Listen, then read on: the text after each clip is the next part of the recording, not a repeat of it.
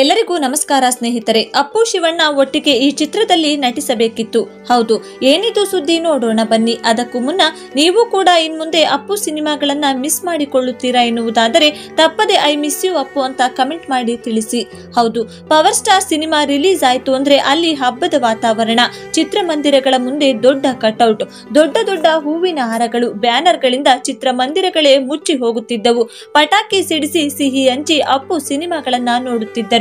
ಇನ್ನೆಲ್ಲಿ ಅಪ್ಪು? ಇನ್ನೆಲ್ಲಿ ಅಪ್ಪು ಸಿನಿಮಾಗಳು? ಅಪ್ಪುನೇ ಇಲ್ಲ ಅಂದ ಮೇಲೆ ಇನ್ಯಾವ ಸಿನಿಮಾಗಳು? ಪವರ್ ಸ್ಟಾರ್ ಪುನೀತ್ ರಾಜ್ಕುಮಾರ್ ಸಿನಿಮಾಗಳಲ್ಲಿ ಒಂದಲ್ಲ ಒಂದು ಮೆಸೇಜ್ ಇದ್ದೇ ಇರುತ್ತೆ.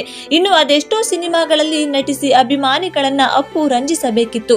ಆದರೆ ವಿಧಿಯಾಟವೇ ಬೇರೆಯಾಗಿತ್ತು. ಅಪ್ಪು ಅವರ ಅಕಾಲಿಕ ಮರಣ ನೋವು ಇನ್ನೂ ಕಡಿಮೆಯಾಗಿಲ್ಲ.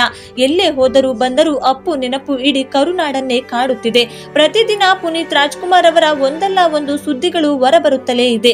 ಇದೀಗ ಅಂಥದ್ದೇ ವಿಚಾರ ಬಹಿರಂಗವಾಗಿದೆ. ಈ ಸುದ್ದಿಯನ್ನ ತಿಳಿದು ಅಭಿಮಾನಿಗಳು ಮತ್ತೆ ದೇವರಿಗೆ ಇಡೀ ಶಾಪ ಹಾಕುತ್ತಿದ್ದಾರೆ. ಶಿವಣ್ಣ ಹಾಗೂ ಪುನೀತ್ ರಾಜ್ಕುಮಾರ್ ಅವರು ಇಬ್ಬರು ಒಟ್ಟಿಗೆ ಸೇರಿ ಸಿನಿಮಾ ಮಾಡುವ ವೇದಿಕೆ ಕೂಡ ರೆಡಿಯಾಗಿತ್ತಂತೆ. ಇನ್ನೇನು ಎಲ್ಲ ಶುರು ಮಾಡೋಣ ಅನ್ನುವಷ್ಟರಲ್ಲಿ ಅಪ್ಪು ನಮ್ಮನ್ನೆಲ್ಲ ಬಿಟ್ಟು ದೂರ ಹೋಗಿದ್ದಾರೆ. ಪುನೀತ್ ರಾಜ್ಕುಮಾರ್ ಹಾಗೂ ಶಿವರಾಜ್ ಕುಮಾರ್ ಇಬ್ಬರ ಕಾಂಬಿನೇಷನ್ನಲ್ಲಿ ಒಂದು ಸಿನಿಮಾ ಬರಬೇಕು. ಅಣ್ಣವರ ಮಕ್ಕಳನ್ನ ಒಟ್ಟಿಗೆ ನೋಡಬೇಕು ಅಂತ ಅಭಿಮಾನಿಗಳು ಕಾತುರದಿಂದ ಕಾಯುತ್ತಿದ್ದರು. ಇದಕ್ಕೆ ವೇದಿಕೆಯೂ ಸಿದ್ಧವಾಗಿತ್ತು. ಶಿವಣ್ಣ ಹಾಗೂ ಪುನೀತ್ ಒಂದೇ ಸಿನಿಮಾದಲ್ಲಿ ನಟಿಸುವುದಕ್ಕೆ ಸದ್ದಿಲ್ಲದೆ ಮಾತುಕತೆ ನಡೆಯುತ್ತಿತ್ತು.